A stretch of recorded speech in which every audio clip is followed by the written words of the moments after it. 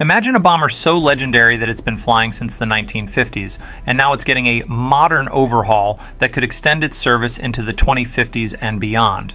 Today, we're talking about the Rolls-Royce F-130 engine tests at NASA's Stennis Space Center, a key upgrade for the U.S. Air Force's iconic B-52 Stratofortress. Stick around, because what you're about to learn shows how advanced technology breathes new life into history.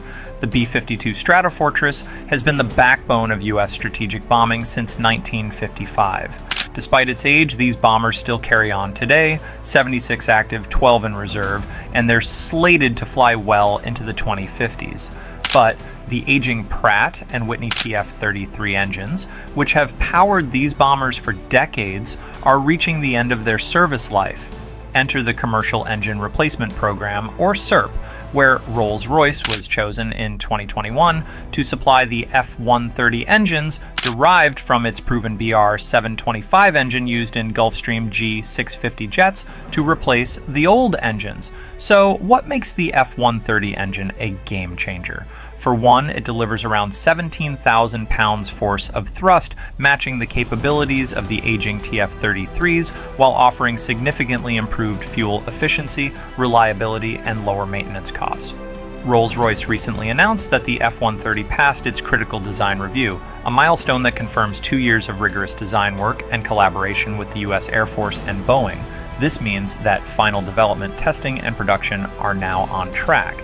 According to recent reports, altitude testing is scheduled to begin in February 2025 at the Arnold Engineering Development Complex in Tennessee, where the engines will be put through real world conditions to validate their performance in the dual pod configuration used on the B 52J. The F 130 isn't the only upgrade on the horizon for these bombers. The B 52J modernization program includes comprehensive enhancements, new radars, updated avionics, improved communication systems, and even a revamped cockpit with digital displays. These changes aren't just about extending the life of the B 52, they're about transforming it into a state of the art platform that can operate effectively in modern contested environments. For instance, rapid twin pod tests conducted at NASA Stennis have already validated critical aerodynamic predictions, helping to de risk the integration of the new engines. In fact, experts say that the new engine package could reduce fuel consumption by up to 30%, meaning longer range, lower operational costs, and less strain on support systems like aerial refueling. Moreover, these upgrades align with broader strategic goals. The U.S. Air Force is modernizing its bomber fleet not only to maintain nuclear deterrence, but also to adapt to evolving global threats. Recent articles even suggest that these upgrades will be pivotal in a potential high end conflict, especially with increased focus on long range strike capabilities. So, what do you think about this bold modernization of an aviation icon?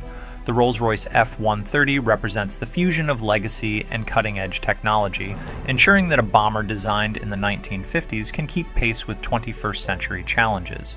With production underway at Rolls-Royce's Indianapolis plant and testing progressing at NASA Stennis and the Arnold Engineering Development Complex, this upgrade isn't just a repair, it's a reinvention.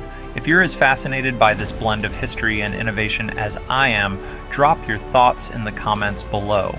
Do you see the F 130 upgrade as a brilliant example of modern engineering, or does it raise questions about the future of legacy systems? Be sure to hit that like button, subscribe, and turn on notifications for more deep dives into tech breakthroughs.